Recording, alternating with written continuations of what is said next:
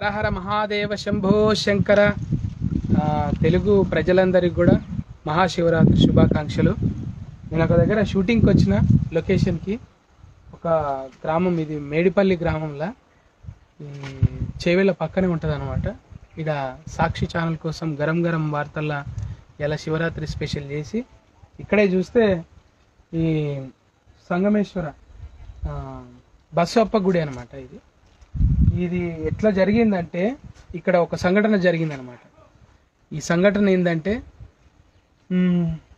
ఇది ఏదైతే ఉందో విగ్రహం వినాయకుడి విగ్రహం తీసుకుపోయి బాయిలు వేసేసారు పెద్ద బావి ఉంటుంది ఇక్కడ మూట బావి రెండు మూట్ల బావి ఉన్నది. ఆ రెండు మూట్ల బావిలో ఎత్తేసారు ఎత్తేస్తే దీన్ని తర్వాత గ్రామ ప్రజలు గుర్తించి దీన్ని తీసుకొచ్చి మళ్ళీ ఒక చెట్టు కింద పెట్టారు ఇక మనం చూస్తే ఇక్కడ పెద్ద పెద్ద కడీలు అనమాట ఇగో ఈ కడీలు. నా నాగు నాగరాజ అంటే నాగదేవత యొక్క గుర్తులు ఎంత ఇగో ఇవన్నీ నిలబెట్టి గుడి దగ్గర ఉండేటివి అన్నట్టు. ఇంకో తర్వాత ఇది శివలింగం.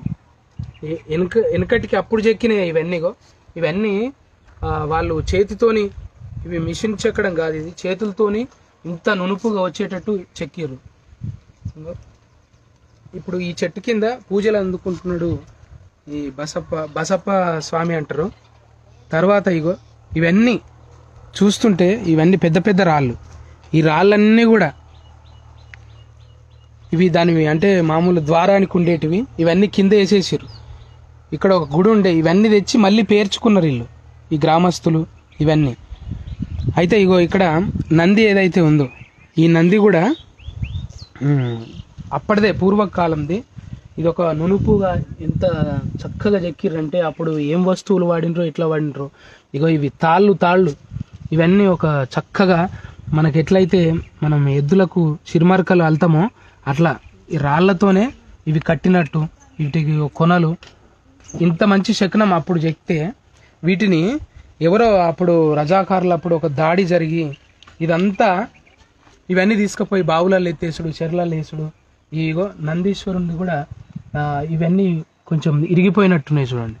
దీన్ని మొత్తానికి తలనే తీసేసిన పరిస్థితి అప్పుడు. తీసేస్తే ఇందులో వర్- వజ్రాలు కానీ ఇంకా విలువైన ఏమేమో పెట్టిరని చెప్పి దీన్ని ధ్వంసం చేసిరు ధ్వంసం చేసి లోపల ఏమన్నా ఉంటాయని దీనికి ఏదో పూత పూసి చాలా రకాలుగా ట్రై చేసిరు అనమాట ఈ శకనం చెక్కాలంటే ఇవల్ల ఎంత ఖర్చుతో కూడుకున్నది? అసలు ఇవన్నీ అయితే ఎంత అద్భుతమైన కళారూపాలు చూడండి. అప్పుడు అంత మంచి శిల్పులు ఉన్నారు చూడు అప్పుడు కూడా. ఇవన్నీ కొన్ని వందల సంవత్సరాల క్రితం ఇంకా పెద్ద పెద్ద స్తంభాలు. ఇక్కడ కూడా ఇక్కడ పడి ఉన్నాయి.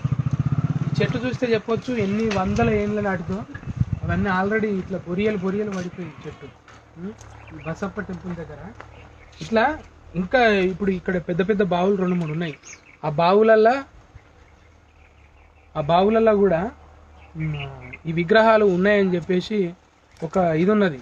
అంటే ఇక్కడ రెండు మూడు గ్రామాలు దాడి జరగంగానే ఇక్కడ నుంచి భయభ్రాంతులు అయ్యి వెళ్ళిపోయినట్టు ఒక ఇది ఉంది. ఈ మేడిపల్లి పక్కన ఇంకా వేరే వేరే గ్రామాలు రెండు మూడు ఉండేనంట. అవన్నీ వెళ్ళిపోయిన తర్వాత అంటే వాళ్ళందరూ పారిపోయింది ఎక్కడ పోయినారో ఎక్కడ స్థిరపడ్డారో అది ఇంకా కొంచెం తెలియదు మనకు. అయితే ఈ విగ్రహాలు ఈ పక్క బావి నుంచి తీసి ఇక్కడ ప్రతిష్ఠించారు కాకపోతే దీనికి ఇంకా టెంపుల్ అది కాలేదు. గ్రామస్తులు కూడా ఆలోచిస్తారు దీనికి ఒక గుడి కట్టాలి మనం.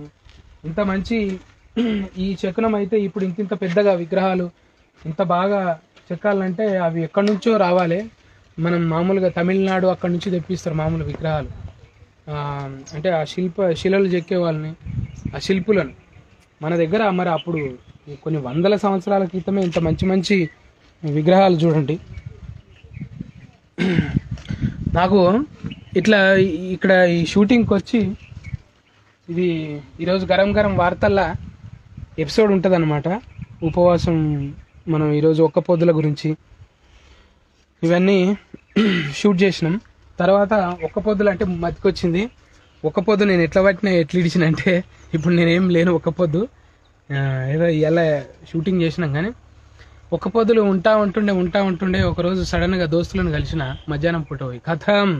ఆ రోజు నుంచి ఒక అండ మంచిగా తెచ్చి ముందర పెట్టారు ఉంటావా అంటే అనుకొని ఆ రోజుతోని పటాపంచలైంది నా ఒక పొద్దు.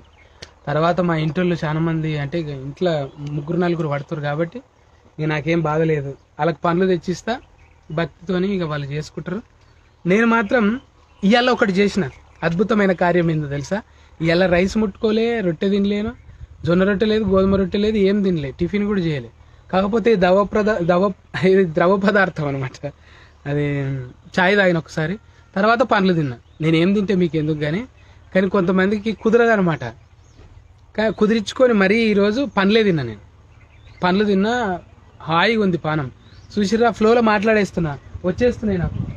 ఇట్లనే చాలా ఊర్లలో టెంపుల్స్ ధ్వంసం అయిపోయి అక్కడక్కడ పడి ఉన్నాయి మా ఊర్లో కూడా మా చేవేల మండల్ పామెన గ్రామంలో ఒక అది ఎట్లా జరిగిందో మరి? బాయిగడ్డ పెద్ద గడ్డ అనమాట ఆ గడ్డలా తవ్వుతుంటే అదంతా పూడ్చేద్దామని తవ్వుతుంటే ఆ బాయిగడ్డ మీద జేసీ పెట్టి తవ్వుతుంటే లింగమూర్తి వెళ్ళింది. తర్వాత ఒక నంది వెళ్ళింది. ఆ లింగమూర్తి కూడా ప్రతిష్ఠించిన వాడ టెంపుల్ కట్టారు. ఇప్పుడు శివమాల వేస్తే మొత్తం స్వామి స్వాములంతా అక్కడనే మండలం ఉంటారు. దీక్ష భిక్ష దీక్ష అంతా అక్కడనే. ఇక పీస్ఫుల్గా ఉంటుంది. ఊరికి కొనకుంటుంది. మంచిగా అట్లా బాయి కాడ. దాని మీద మా ఊరైన ఒక బుక్ కూడా రాసిన ఇట్లా మనకు తెలియని ఎన్నో ఉన్నాయన్నమాట. ఇట్లా వీరికి ఒక పవిత్రమైన జాగాలకు వచ్చి కొన్ని వందల ఏళ్ళ నాటి విగ్రహాన్ని చూసినాం. నిజంగా వీటికి చాలా పవిత్రత ఉంటుంది ఈ విగ్రహాలకు.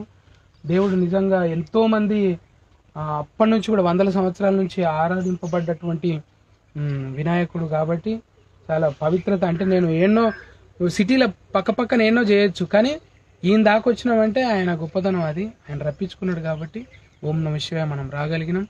ఎలా అందరూ భక్తి ప్రపత్తులతోని చాలామంది దీపారాధన కానీ అభిషేకాలు కానీ అర్చనలు కానీ చాలా పవిత్రంగా హిందూ దేవాలయాలన్నీ కూడా ఎలా ఒక శివనామ స్మరణతోని మారుమోగుతుంటాయి.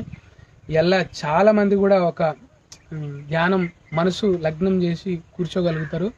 అన్నీ ఎక్కడ చూసినా మీడియాలో కూడా పేపర్లలో కూడా ఎక్కడ చూసినా శివుడి తత్వాలు శివుడి శ్లోకాలు శివనామ భజనలు ఇవే జరుగుతుంటాయి కాబట్టి ఇవాళ కూడా నాకు ప్లజెంట్గా మంచిగా అనిపించింది. ఒక గొప్ప ప్లేస్కి వచ్చిన నేను కాకపోతే ఇక్కడ నిరాధరణ గురైనటువంటి విగ్రహాలు కానీ ప్లేసులు కానీ చూస్తుంటే ఇట్లాంటివి చాలా ఉన్నాయి ఇంకా. మనం ఇవన్నీ డెవలప్ కావాలని కోరుకున్నాం ఇంకా మనం గ్రామస్తులతోని కొన్ని విషయాలు తెలుసుకొని చెప్తా నేను. ఇదైతే మళ్ళీ వచ్చే ఏడాది కల్లా మంచిగా అవుతుందని కోరుకుందాం మనం. వినాయకుడు తలుచుకుంటే కాందేం లేదు అన్నిటి కార్యాలకు ఆయన్నే ఇప్పుడు చెట్టు కింద మాత్రమే ఉన్నాడు ఇంత పెద్ద విగ్రహం ఒక చెట్టు కింద అంటే నిజంగా ఒక ఎప్పుడో చెక్కింది ఇది ఎప్పుడో తయారు చేసిన విగ్రహం.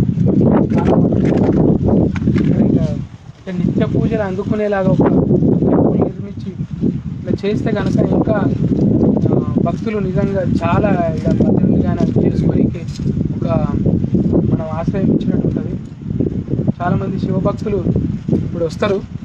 కొద్దిసేపు అయితే మేమైతే ఎవరు లేనప్పుడు కొంచెం షూటింగ్ పీస్ఫుల్గా ఉంటుందని వచ్చి చూస్తున్నాం ఇది ఇలా శివరాత్రి నాడు ఒక మంచి ప్లేస్ వచ్చినందుకు మంచి స్థలంలోకి వచ్చినందుకు నాకు కూడా కొంచెం పుణ్యం రావాలి మీరందరూ కూడా. ఓం నమ శివాయ.